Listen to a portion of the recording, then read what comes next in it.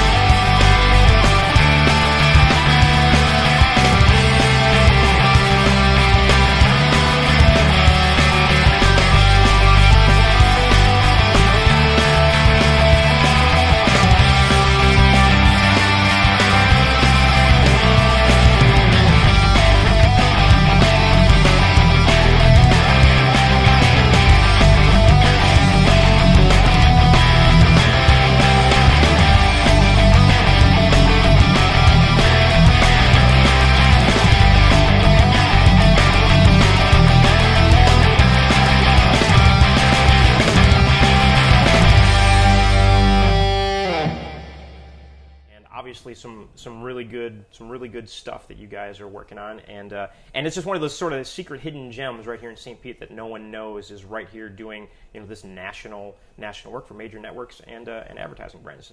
Um, so one of the things we like to do on the podcast is not just you know sort of rattle on about all the wonderful things we have in the St. Pete Clearwater area, which of course we do have lots of wonderful things here, uh, but we like to talk about sort of news in the business and kind of what's happening in the world of film and entertainment and digital media as well. So, in this particular episode, obviously, we're going to kind of focus everything on animation since we are here at the uh, the lovely Echo Bridge Pictures in St. Pete.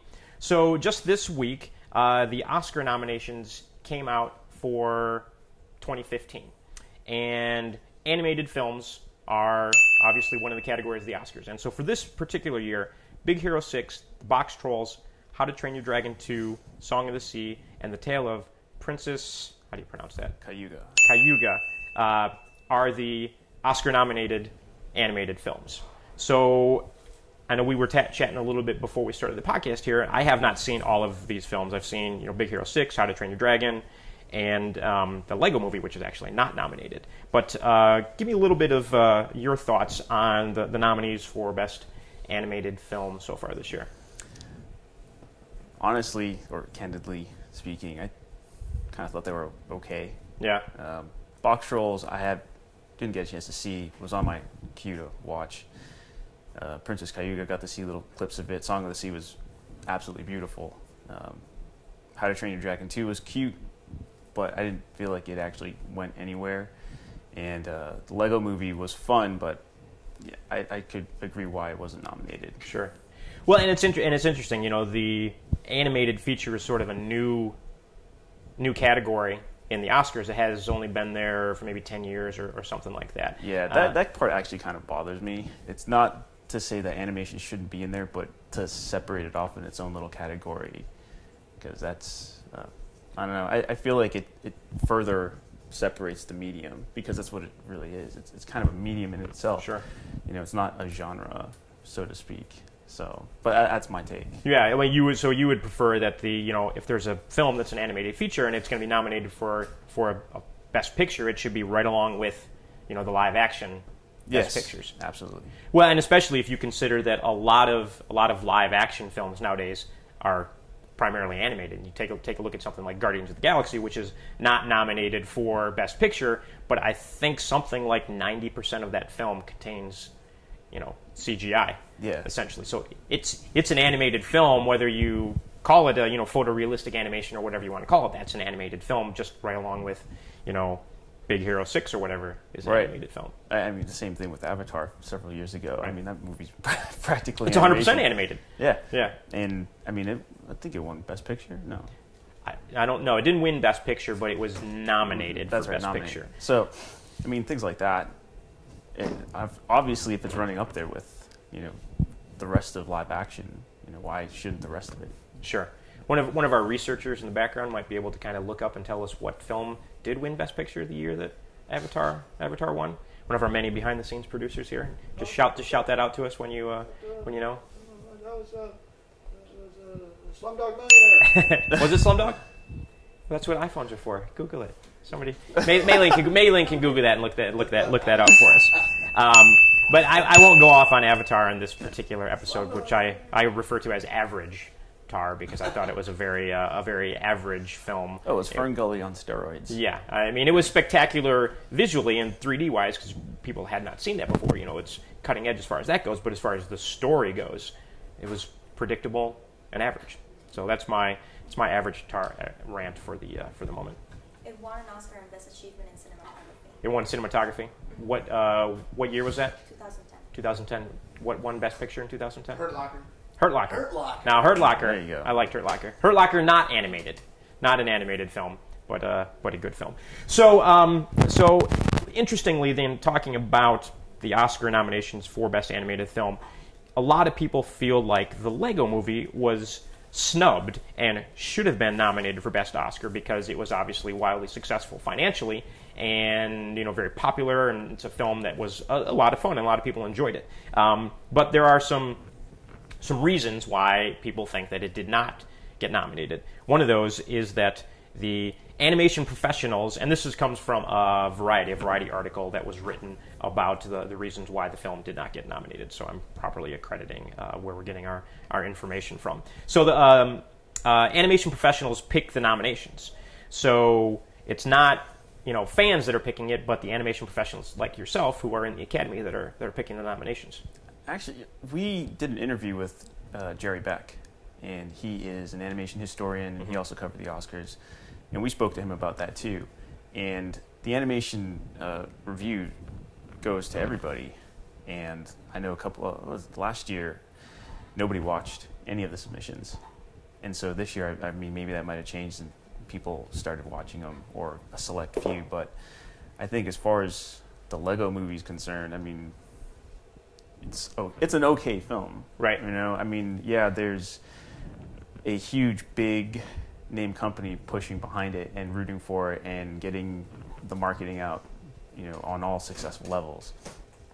But I don't necessarily think that makes for a quality film. Right. Should should it be Oscar nominated? Oscar Oscar is supposed to be, you know, the best of the best. You know, the best film in that particular category, regardless of its, you know, financially successful. Um, I guess uh, 2001 is when the Academy first started doing a Best Animated Feature, and you know, at that time, you know, maybe you'd only have you know eight or so animated features per year. Now you have over you know 20 films a year. That's great. That which Well- is which is great. The more animated films are getting done, so that's sort of another reason. You know, they say tougher competition is a reason that it may not have gotten nominated. Um, something that's not on this list is essentially the fact that, like you said, it, it's a toy company. You know, it's based off a toy. It's marketing. It's advertising for Lego toys. So I could see where maybe a lot of people would hold that against the yeah, film. it, it feels disingenuous for the most part. And then I, I mean, when I I saw the movie, it was it was fun and it was entertaining, but I don't know. Maybe people have just sort of lost their. It's lackluster. sure.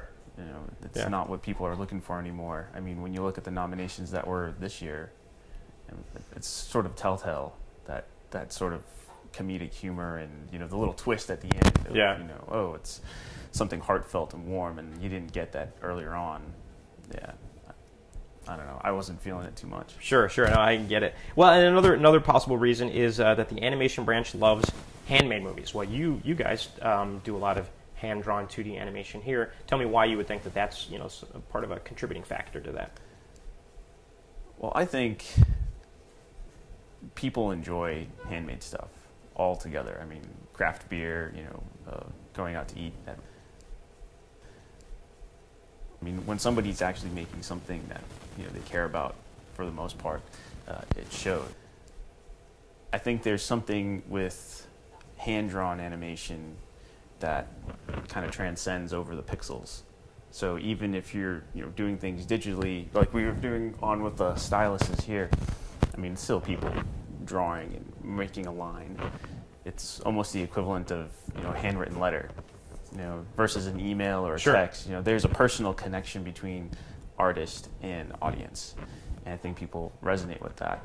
Uh, I know in the in the business itself, you know, everybody's dying for 3D because that's sort of the go-to. It, it supposedly simpler, Right. but traditional animation, even though it's labor intensive, much like 3D, all of it, uh, animation is nothing but work.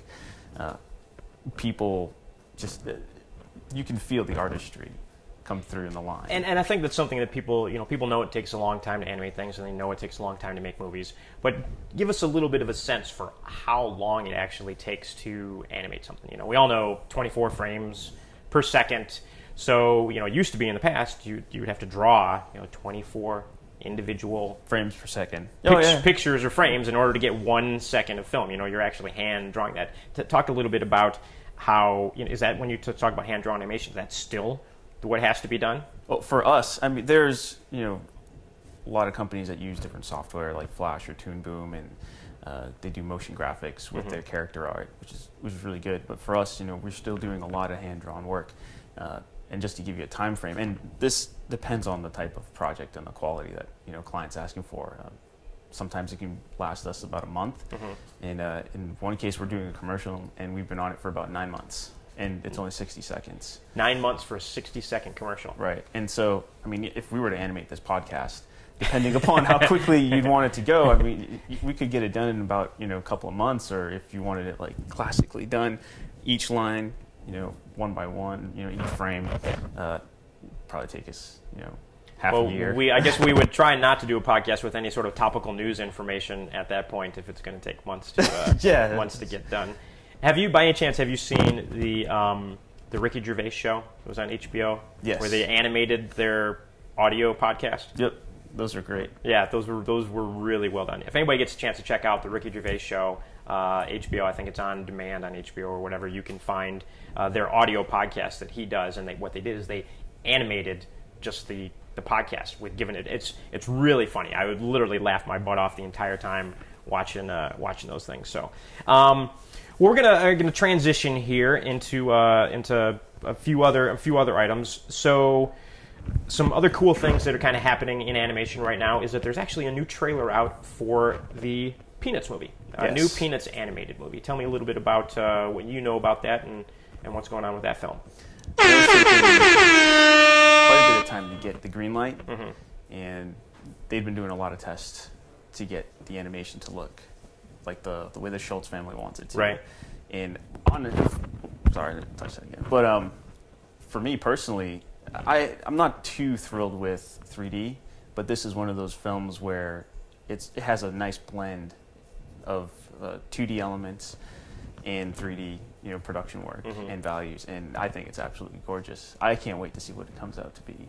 Yeah, and, and for those people who I would I would hope that you're familiar if you're watching this with the Peanuts. You know, Charles Schulz developed the Peanuts Right. comic strip strip that ran in newspapers for well, still running today, and um, he died ten years ago, maybe something like that. No idea. And it started this comic strip in the 1950s, I believe, and probably one of the most well-known comic strips in the in the entire world, essentially. Um, and of course, with you know Peanuts Christmas, everybody, you know Charlie Brown with the little Oh, Christmas yeah. tree, and everybody loves the the original Peanuts animated TV shows that were out in, I guess the you know the late 70s, 1980s, and they're still rerunning and playing those today. And so now we have this you know Peanuts feature film, which in the trailer, which we'll show a little clip of here, you know, um, you know, pretty much focuses on Snoopy and the Red Baron, which is a, a cool kind of way to you know open this up. And so I'm, I'm excited to see it too. It's kind of one of those things from from your childhood that's coming back to be like, oh, Yeah. new Peanuts thing. Hopefully you don't screw it up, kind of. See, that's the.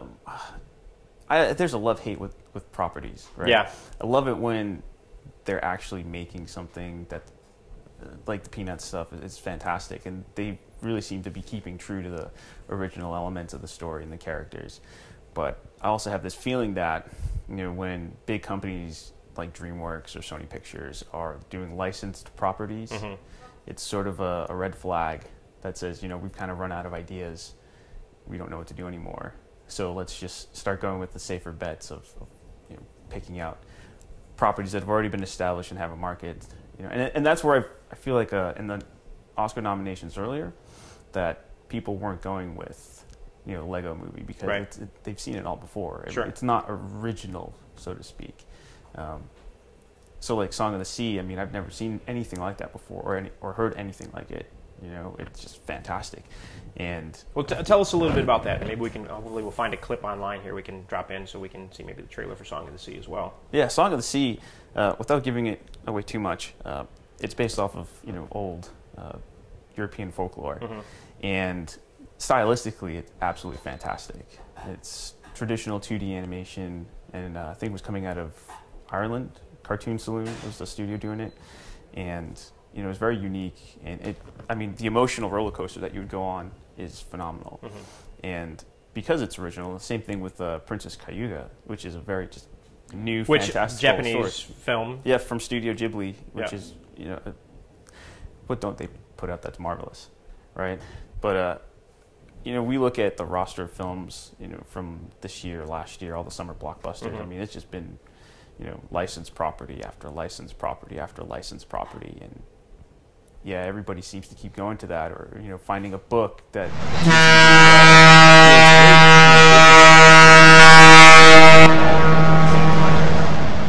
If people have already read it, if people have already seen it, what are we really contributing? And that's to? and that's sort of the interesting conundrum in the film business and the film world in general right now is that you know when you talk about the big studios, you know their number one job is to make money. So you know essentially what they're doing is they're not making a film because they want to make a you know great piece of art. They're making something that they market. The question the question that they're always going to ask isn't you know how good can this movie be, how can we sell this movie? How can we market this movie? Which is why you go back to you know buying a book that's a you know a, a bestseller or you know an old property that they're going to rehash and try and do something with again and you know people know about this so what can we do to actually market it and sell it and try and make some money basically I mean, uh, there's there's that part, and I get that, right? Yeah. But I mean, if you think have about a heart hollywood well, it's more than have a heart, have a soul. Looking at you, DreamWorks. Um, but yeah, if, if you look at like you know old craftsmen who were making tables and, and you know classical painters who are just really putting everything from their imagination onto the you know canvas or a piece of wood or you know, a sculptor working from you know a statue. I mean, yeah, it, nobody would have thought that their original idea were going to make them any money right from the get go. Right. But I mean, Salvador Dali, you know, it's proved otherwise. Pablo Picasso, all the famous artists that we've had. Yeah, there are some stories of the starving artist, etc. But I, I feel like you know filmmaking is no different than painting, is no different than you know sculpting or carving from wood. It's you know how much dedication a person with vision is going to put into it, and yeah, there's you know I, I felt like I feel like when big studios go for the license, it's just the low hanging fruit. You know, Pretty- that's pretty well. That's it's, exactly it's the quickest way. Yeah. To, it's the quickest way to do it. And uh, Winsor McCay, who is one of the earlier pioneers of animation, had this quote. He said, uh, "You turned this you know, wonderful medium into a business, you know, you, or turned into an industry. Uh, bad luck, you know." And I think he forever cursed the film industry with that. But uh, because there are some really wonderful ideas that sort of just fall by the wayside Yeah. and no one ever hears of it because they don't have the advertising dollars, they don't have the big studio lot or equipment. And you know, you get rogues like Robert Rodriguez who you know go down to Mexico to shoot with like seven thousand dollars and pops out with something original, yeah. or Tarantino or Martin Scorsese, you know, with Boxcar Bertha and you know all of his earlier films.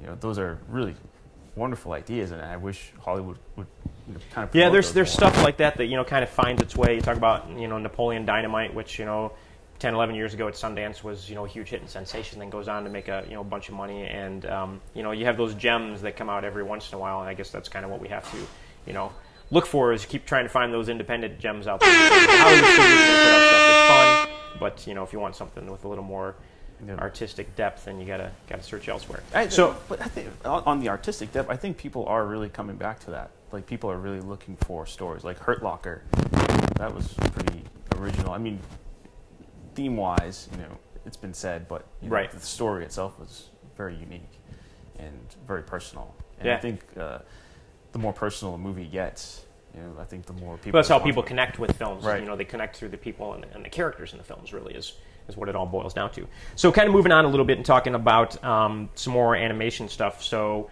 yeah, going right back to almost the you know established properties. You know, Netflix. Netflix has been a big player in in a little bit of everything nowadays. Yes. You know, they're their own network essentially. You know, winning Emmys and being nominated for films and. Um, the Adventures of Puss in Boots, based off of the Puss in Boots character from the Shrek Right. movies, now has its own animated series on Netflix. So now Netflix, now Netflix is not just you know going into live action, but actually their own original animated stuff. So as an animation studio, now you guys are working for a lot of other people, but are you are you also creating your own content that's original content that you're trying to get out there, you know, like this as well? Yes, we we've got a couple of them going right now. Uh, one of them is in the hand of Nickelodeon. Mm-hmm. The other one is in the hand of uh, Disney XD. I can't say anything. Sorry, uh, but we also have created a couple of our own animated shorts. Mike and Wayne is one of them, and it went on to be officially selected for the Sunscreen Film Festival West last year, which is great. Sunscreen West. Why does that sound so familiar? Huh. Yeah, and uh, and currently we're in pre-production for our first feature film. Good. That we're developing here at the studio, and that we're hoping to release uh, within the next three years. So now you talk about doing a feature film. You know, when you watch the credits for a feature film like Lego Movie or anything else, and you look at the end of that movie, and it's like hundreds and hundreds of names scrolling past. So if you guys are going to be doing a feature film, is this our hundreds and hundreds of names here in the background, or you know, it's going to be five names on the film as the animators? What do you, you know, what are you guys Yeah. thinking? Uh, This is this is it. This is the crew that's going to do it. that's awesome. And I mean, if you look at people like Joanna Quinn, um, Ralph Bakshi, Bill Plympton, uh, Alan Foreman, you know, uh, Aaron Augenblick, you know, all these filmmakers and animated animators and animation directors and studios. I mean, they're small, but they do some really huge work. I, I believe Augenblick Studios did a, a Zoolander animated feature. Well, that's I didn't know there was a Zoolander animated Yeah, feature. that, that's coming out soon. And- okay, I was going to say, did I miss that somewhere? How's how's that happen? Yeah, but I mean, Bill Plympton had uh, his feature film Cheatin' was uh, I think nominated. Well, it wasn't nominated, but it was submitted for an Oscar. It was in consideration. right, consideration and in uh, consideration to be nominated, but then not actually nominated, right? yeah, yeah. Many layers there. But uh, Bill Plympton, I mean, he does feature films all on his own. Yeah. it's just by himself, you know, drawing every frame, and I mean, we have limited resources, but we have a lot of talent. Sure, So, sure. And how and how long, you know, let's say you're able to start from. All right, now we can start you know, today, how long will it take you and your team to animate, you know, a feature length film? When we did the math, it pulls out to about 22, 23 months. Which that actually kind of falls right in line with what typically, uh, you know, a, a major Hollywood production. I mean, talk. Look at any of the Pixar films. They they have a five year kind of window that they do for those films. From it takes five years from sort of initial concept by the time they they finish it. So that's not even on a you know a live action film. It can take a couple years from you know beginning to end. Yeah. With the amount of you know special effects and animation in a lot of films, so that's that's not bad. Oh, it's not. And with a very considerably small crew. Sure. So, So and I guess so. The interesting question then would be: so if you're working, you know, 22, 23 months to create a feature film, you've got the, you know, you're fully financed and everything else. Does that mean all the other work that you've been doing, or all the other clients that you've been taking on, are you still doing that as well, or is it, you know, just everybody's working on the feature for? it for would be if we were fully financed. right. And then that was it. Nothing else. Nothing else but doing that. But uh, we also like working with our clients too. Sure. So You don't want to take two years off and then have to try and go back and you know reestablish relationships with clients after that. no, that would Okay. yes. So that, that's that's something that's in the works currently. So if anybody is interested in fully financing uh, Echo Bridge Pictures feature film, you can uh, you can find them online at uh, echobridgepictures.com. Echo-bridge.com, and you can find us on Twitter too at Echo Bridge, and we'll respond within minutes. and you can always contact us at the Film Commission as well for more information about what they do. And I'm sure they're always looking for, for new clients and everything else. So, uh, so a little a new segment that we want to try and throw into the podcast here, um, as we're going to be sort of changing things up over the over the next couple of months, next couple of episodes, as we figure out you know how we want to structure the podcast and everything is. Um, and maybe we'll call this something different in the future. But right now we're calling it you know thumbs up and thumbs up and thumbs down. So so for the week, you know, you're you're going to tell us something. You're giving a, a thumbs up in you know the entertainment industry, animation world, or whatever the week, and then I'll, I'll give us a something that's that's a thumbs down this week. So what's your what is your thumbs up for the week? Oh, man, I, I thumbs up has to go to the Peanuts movie. At least for now, I could change my mind, so don't put money on me. Uh, but I actually think it's well made. It's looking to be a solid film, and I'm I was really excited to see more development from it this week. So that's my thumbs up. All right, good. So Esteban's thumbs up for the week is the Peanuts movie, and then my thumbs down for the week is actually the uh, Dish Sling TV Internet bundle. It's a lot. To, that's a that's a whole mouthful there. You'll have to you have to look that up to see what it is. But essentially, uh, Dish Television, you know, the uh, satellite company, what they're doing is they're getting into the you know internet bundle game where you don't have to have a cable subscription or a Dish TV subscription. You could instead get an internet subscription to you know, like you have Netflix or whatever. And what they'll do is it's a, it's a small set number of channels. You can have X number of channels that you're paying twenty dollars a month or whatever, and then you can watch those TV channels on whatever web-enabled device that you have, as opposed to, you know. And so the reason I'm giving it a thumbs down is because now people have, you know, the uh, you have you, you're going to pay whatever ten or twenty dollars a month for Netflix, and then you're going to pay your twenty dollars a month for your Dish TV, so you can have cable television, and then you're going to pay for maybe Amazon Prime or maybe Hulu or whatever else. And so by the time you have paid for all these different packages, which uh, a lot of the TV channels that you want are not included in that package, for example, broadcast television not included in that package, which it doesn't need to be because people forget broadcast television is already free.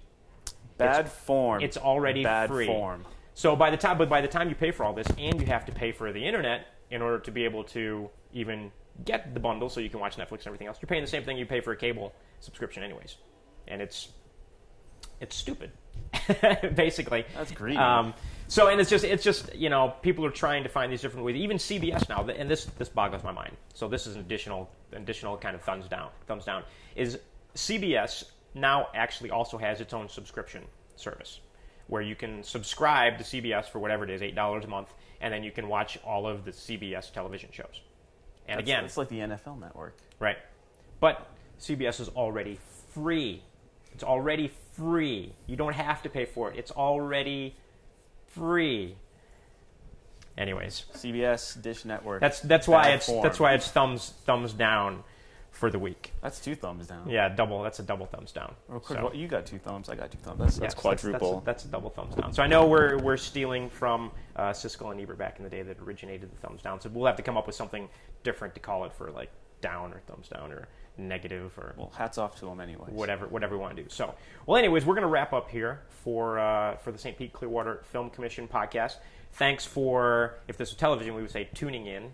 So I guess for logging on, dialing in, tuning in, watching, whatever analogies uh, work for uh, for watching this podcast on whatever whatever medium you're watching it. So for Esteban here at Echo Bridge Pictures, and all the animation staff in the background. Everybody, wave.